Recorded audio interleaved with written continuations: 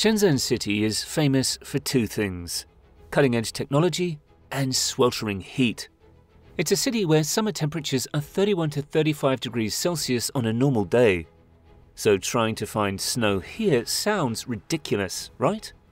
But China didn't just find it, they built it. Welcome to Huafa Snow World. This is a 100,000 square meter beast that stays frozen at minus 6 degrees right in the middle of a subtropical heat wave. It is the world's largest indoor ski resort, and it's fighting a 24 7 war against physics just to keep the whole thing from melting into a catastrophic puddle. And the price tag for this frozen miracle? A staggering 4 billion US dollars. But how do you manufacture winter on this scale in a city like this? And more importantly, why would anyone drop $4 billion just to do it? To answer this, we have to look at the bigger picture. Ever since it became a special economic zone in 1980, this city has been the undisputed factory of the world. Almost everything electronic passes through here at some point. If you're holding a smartphone right now, there's a good chance its journey started in Shenzhen. But being great at manufacturing is no longer enough. By 2019, the government realized the city needed to evolve. And that's when their goal shifted from just making things to becoming a global center for culture, lifestyle, and high end services. Huafa Snow World is a key part of that plan. The resort sits in the new Qianhai Bay district, often called the Manhattan of Shenzhen. This area is being developed as a financial hub meant to compete with Hong Kong, but a world class district can't survive on offices and banks alone. It needs something that attracts people. That's where a ski resort comes in, which is also bringing a massive cultural shift. Skiing used to be a niche hobby in China, but the Olympics changed that. Over 346 million Chinese people have engaged in winter sports since 2015, and a major role in this interest is played by the 2022 Winter Olympics. But that growth created a problem. Most of China's wealth and population is in the south, while almost all the natural snow is far away in the north.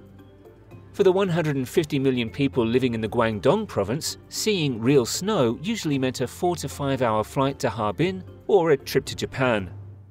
Huafa Snow World solves that geography problem. By bringing the mountain into the city, the resort expects over 1 million visitors every year, and for many people who've lived their entire lives in a subtropical climate, this won't just be entertainment. It will be their very first time experiencing winter. Now let's talk about the location. We're in Qianhai Bay, right next to the city's massive exhibition center. And honestly, for ice engineers, this is one of the worst places you could choose. Shenzhen has a subtropical climate, which means that it's not just hot, it's sticky. In the summer, the air is thick and wet, with humidity often hitting 84% in the summer season. That kind of moist heat acts like a steam bath which melts ice instantly. And yet, right here, they're building a ski facility four times larger than the famous Ski Dubai. So, how big is this snow world really? Well, the key number here is the vertical drop. That's the distance from the very top of the slope to the bottom, here, it's 83 meters. If that number doesn't sound scary, imagine standing on the roof of a 25 story building, putting skis on, and sliding straight down. That's the height of this indoor mountain. The main track is 441 meters long, nearly half a kilometer. It's long enough that even professional skiers will feel their legs burning by the time they reach the bottom.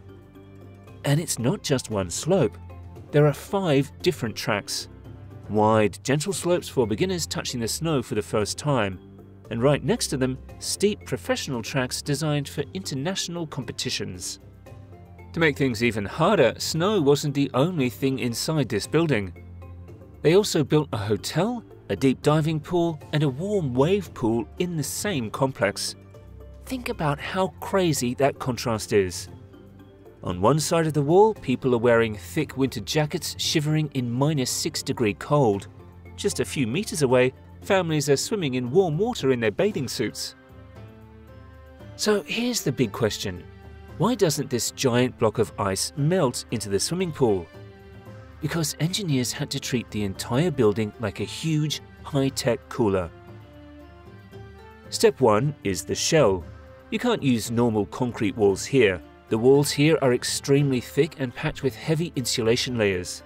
Think of it like a giant thermos, keeping the cold in and the Shenzhen heat out. Step 2 is the zoning. The ski area stays at minus 6 degrees Celsius. But remember that hotel and water park next door? They're kept at 28 degrees. To stop these climates from mixing, they use airlock transition zones, similar to what spacecraft use. You never open straight into the cold area. You pass through a buffer that traps heat before it can reach the snow. Step 3 is the snow itself. The snow is made with modern snowmaking machines that keep the slopes covered in snow. The indoor hall stays at around minus 6 degrees Celsius so the snow doesn't melt. And finally, the engine. Deep inside the building is a massive refrigeration plant. Industrial compressors push refrigerant through kilometers of pipes beneath the floors, keeping the ground frozen solid.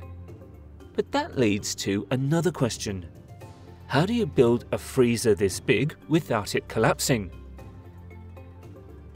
The owners didn't want another boring square building, so they called architects from Ten Design and gave them full freedom.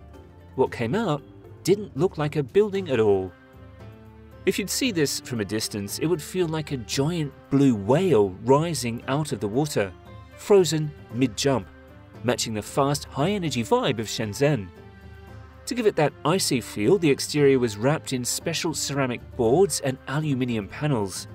When light hits it, the surface looks more like a glacier than a wall. Construction of this urban glacier began in 2022. By mid 2025, the main skeleton of the structure was standing. After that, almost the entire summer was spent installing heavy snowmaking and cooling machinery inside. But this is where they get the biggest headache logistics. Normal walls couldn't be used. To keep extreme cold inside, these walls were thick and insulated. At the same time, a luxury JW Marriott hotel was being built right next door, and the resort had to connect to Metro Line 20 with a walking bridge. Sounds manageable, except the metro station itself was still under construction. But somehow, they pulled it off.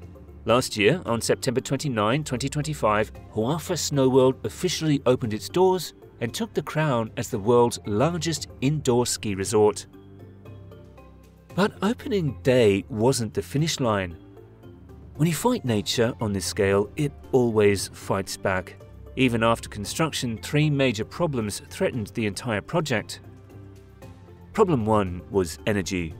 Running a giant freezer 24 7 in the middle of the tropics is incredibly expensive. Plus, burning that much power is terrible for the environment. To fix this, they covered the top of the building with a massive grid of solar panels. These panels generate electricity that reduces the power bill substantially, though 24 7 operation still requires supplementary grid energy. The number two problem is the temperature clash. Remember that warm pool we talked about earlier? It sits right next to the snow. If the insulation fails even a tiny bit, you get thermal bridging. Heat leaks into the snow zone, cold leaks into the pool.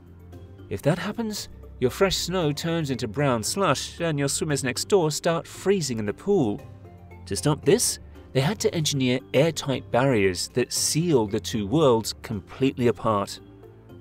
And finally, the biggest problem of all was money. The total cost of this project over 4 billion US dollars. To make that money back, you don't just need a few tourists. You need over a million people to buy tickets every single year. They're making a huge bet. They believe that Chinese families are willing to pay extra to ski indoors right now rather than waiting to travel to real mountains in Japan or Europe. So now that it's open, what does this change? For the 13.5 million people living in Shenzhen, it's a huge shift. Before, skiing meant booking flights and planning long trips. Now, it's just a subway ride away. It also creates something that never existed before in southern China a year round training ground for winter sports. Economically, it completely transforms the Qianhai Bay Area. What used to be an industrial waterfront is a luxury destination now. It also creates hundreds of permanent jobs from ski instructors to refrigeration engineers. But globally, it sets a new standard. It proves that with enough engineering and money, climate is optional. We're already seeing similar projects being planned in other tropical Asian cities. It changes our perception of what is physically possible in architecture. Looking forward, Huafa Snow World plans to host international ski competitions. It's not just for beginners, they want this to be a serious sports venue. But it also has a contradiction. The building collects rainwater and has wetland areas to stay green, yet it still burns massive amounts of energy just to stay frozen. But in the end, this project sums up China's approach to infrastructure. If the land doesn't give you what you need, whether it's a bridge, a dam, or a winter season, you can engineer it from scratch, although it can still give you a tough time. They spent $4 billion to prove that winter can happen anywhere, as long as you can pay the electric bill. So, what do you think? Would you pay to ski indoors in the tropics? Or is the real mountain experience impossible to replace? Let us know in the comments. Share this video with your friends and subscribe for more mega build engineering stories. Thanks for watching.